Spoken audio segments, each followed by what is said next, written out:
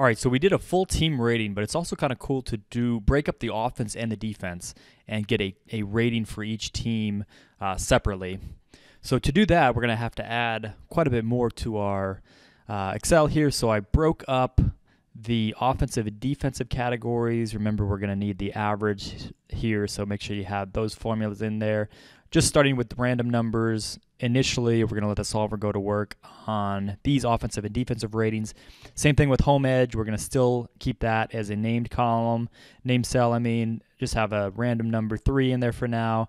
And then this is the average um, points scored in the NFL in an NFL game. So we're going to start with 25, but we're we're going to also give that to Excel as a changing cell to work with in the uh, calculation as well. All right, so rating, this is still an overall offense versus defense. We don't need that right now.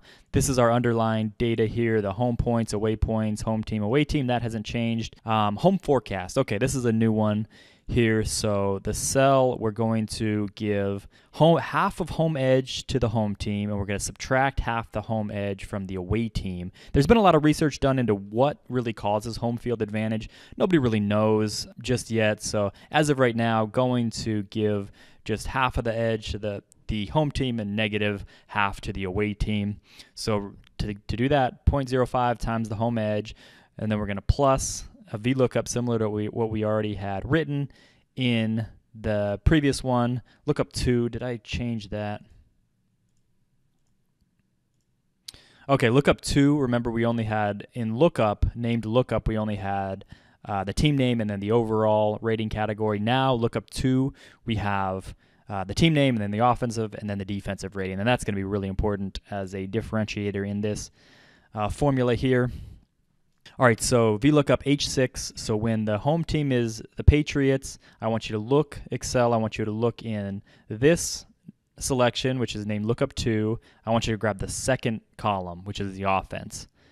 And then the false here to finish that formula. So that's the rating for the New England offense. And then we're going to add that to the to the opposing team, the away team's defense.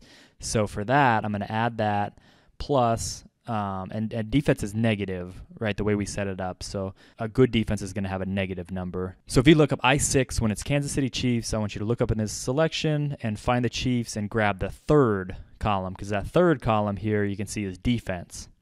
And then false, and then plus the mean, which is the average uh, points scored in the NFL. So there we go. We have the home forecast for the Patriots going up against the. And again, these are not these are not correct numbers, so that these aren't correct yet. But this is what the formula is saying, and then the the solver is going to go and find these best fit numbers.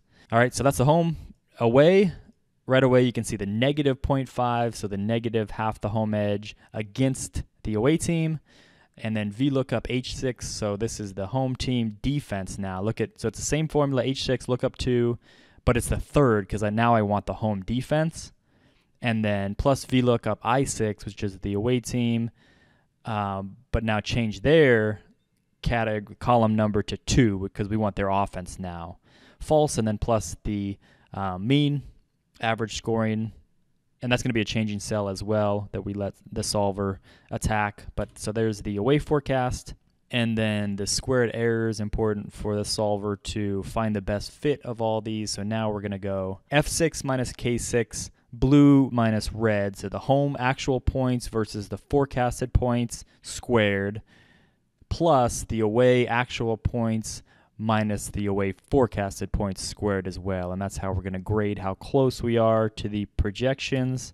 And then keep this, the sum of squared errors at the top, which is just the sum formula for all of the different games. All right, so with that, we are ready to let the solver go to work. Okay, set objective. We are trying to minimize the sum of squared errors. So M4 minimize by changing which cells. So the selection of offense and defense. So I'll go ahead and do that one again. Grab both of those. So change these. Also, comma the home edge, so you can let the solver mess with the home field advantage. Also, let the, the solver figure out the average points scored for an average NFL team here. And then the constraints, we want these to be the average of the ratings, both offensive and defense, to be zero. All right, keep this one unchecked. GRG nonlinear is good. let the solver go to work. All right, keep solver solution, and here we go.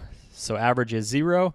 Now we have a offensive rating. Negative is worse. You want to have a positive offense. So right here you can see Baltimore positive, um, Detroit positive five. That's really good. Rams eight, really good.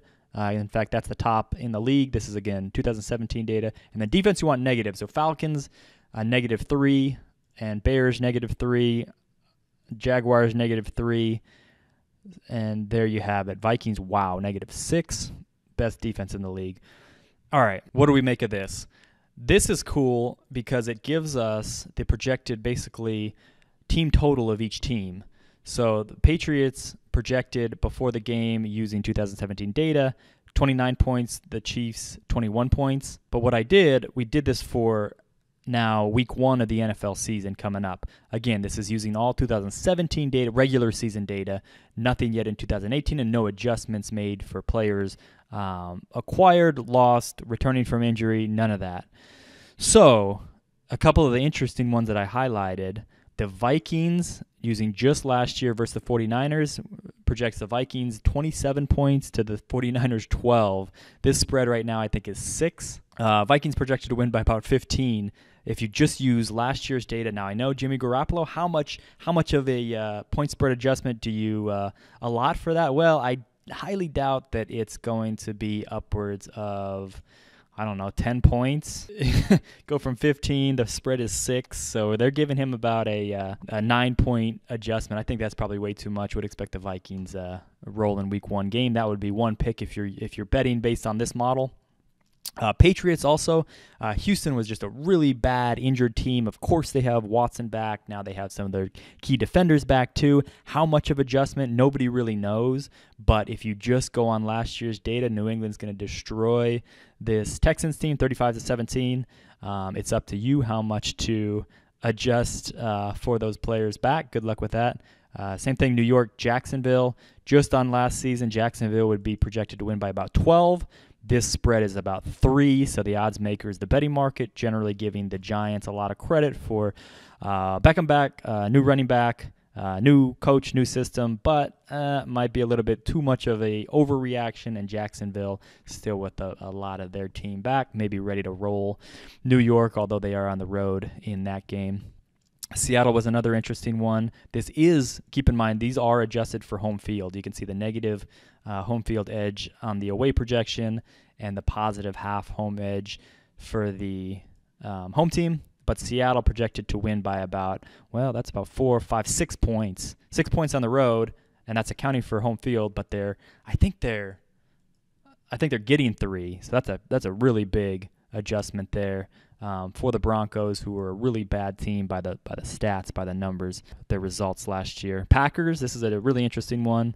Um, I really like the Bears this year. Some of the moves they made, even without any of the moves, just taking last year's data, um, they should only be be underdog by about two points on the road to Green Bay.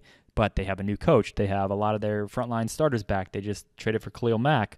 Um, a lot of reasons to like the Bears, and even if you didn't have any of those reasons, they were actually probably still a pretty good bet uh, just based on last year's data. But the Packers also have Rodgers back. They also have uh, a couple of linemen back, so that's not completely fair.